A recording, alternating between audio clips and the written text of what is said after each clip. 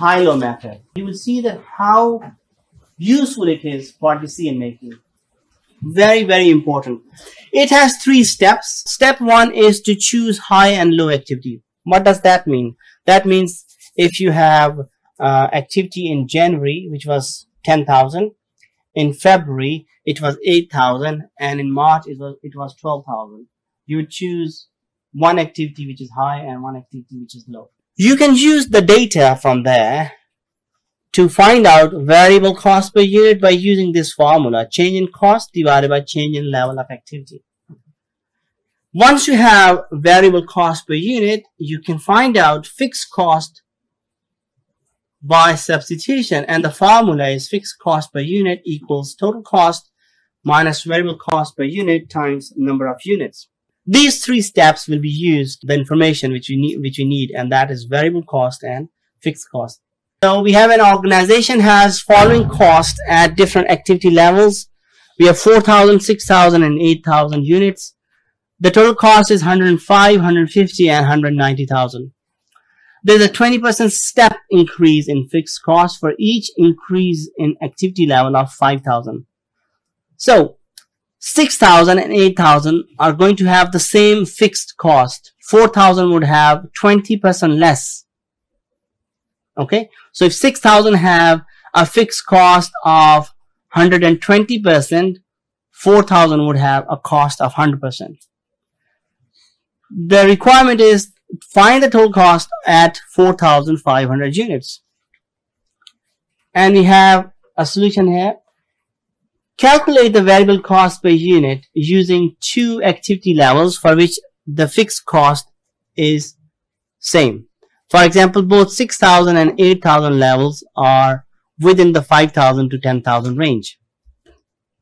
Variable cost per unit can be calculated by taking the difference in cost divided by the difference in activity, which is 40,000 divided by uh, 2,000 and the total cost Variable cost per unit is $20. Total fixed cost above 5,000 units is the the equation down there. We are using this one now. Uh, we can find out that the fixed cost above 5,000 is 30,000 and the total fixed cost below 5,000 is 100%, not 120%. So this gives us 25,000. Now we know this and this information, we can find out the total cost at any given level of activity. So the total cost to produce 4,500 units would be 25k plus 4.5k times 20 equals 115k. So this is a, an exercise on high-low method and we will do some and the rest will be your homework. You can see that we have a table in front of us which has uh, different types of cost, supervision, direct materials, storage and handling, and then we have two different activity levels at 2000 units and 5000 units. What we need to decide is we need to decide what is the cost behavior. Uh, if it's fixed, how much is fixed? And if it's variable, how much is variable per unit? Okay. So I have solved the first three ones, but I will explain that how did I do that, and then then you can actually uh, try it on your own. So first of all, let's look at our supervision cost. So at 2000 units, we pay uh, 20,000 pounds for supervision. And at 5,000 units, we pay 20,000. Same, same amount. Because it, it's not changing, we call it fixed. How much is fixed? 20,000. Is there any variable in there? No variable there. So nothing appears in the third column. Yeah. That was easy. And there are quite a few here, four or five in this list, which are just fixed. So that will be very easy for you guys. Now, direct material. Direct material, 10, 100,000 we paid for 2,000 units and 250 for 5,000. Is it fixed? It's not fixed, it's variable. Is it actually variable or semi-variable? To, if it's variable, the cost per unit should be the same. So what I'm going to do, I'm going to do a calculation now. And the calculation would be, so direct material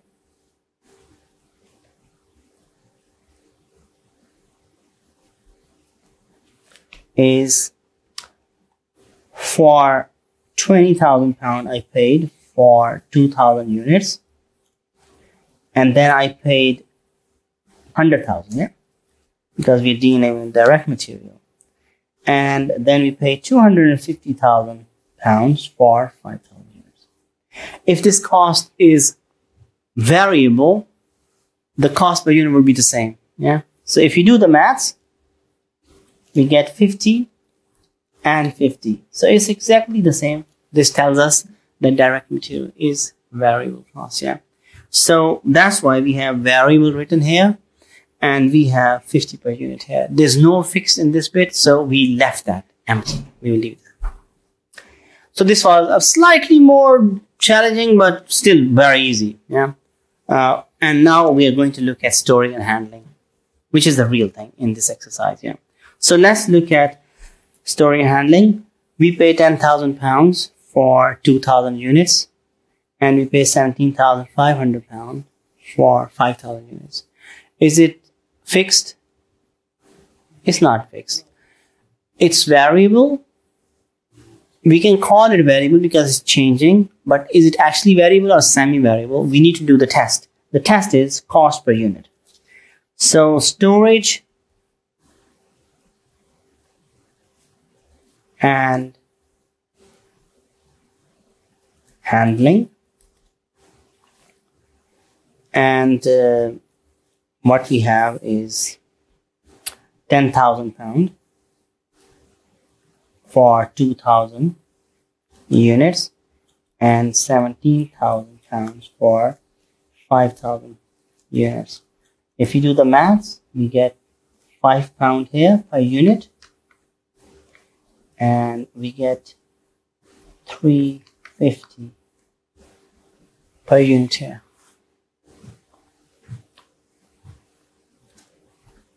Yeah. So the cost per unit is not same. That means the cost is semi-variable. Once you have established the cost is semi-variable, then you need to apply the high-low method.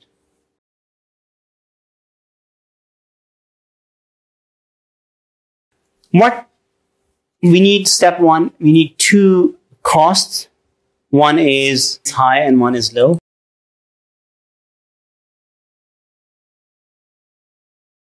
And step two would give us variable cost per unit. So let's do that. All right, variable cost per unit. This we need change in cost. So the higher, highest cost minus lowest cost divided by change in activity, which is highest production minus lowest production. And the difference is 7,500 divided by 3,000. We get 2 pound and 50 per unit so that's why if you look at the table, you have semi-variable and then you have 250 per unit.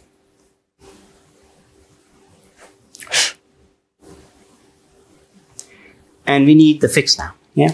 So let's do that step three now. Now step three says that fixed cost equals, I should write the whole thing. Fixed cost equals total cost minus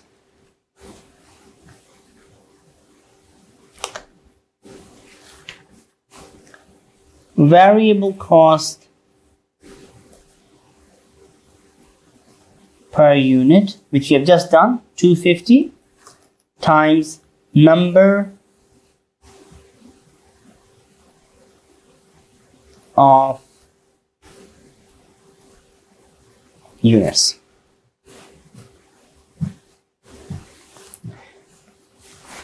For this equation, you need a set of data.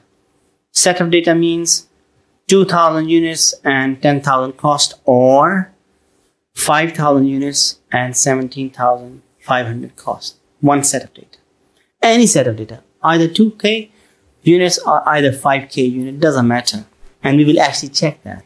So first I'm going to check with 2000 units. So for 2000 units,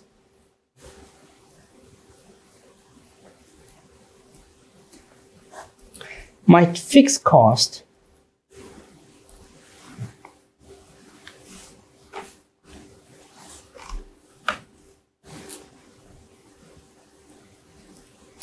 equals total cost. We know total cost.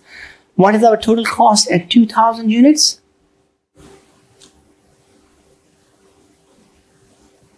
Five, five, 10,000 total cost, yeah? Minus variable cost per unit is 250, which we just did. And the number of units are 2000 because we choose 2000 units, yeah? 2000 units. This gives us, that is 5000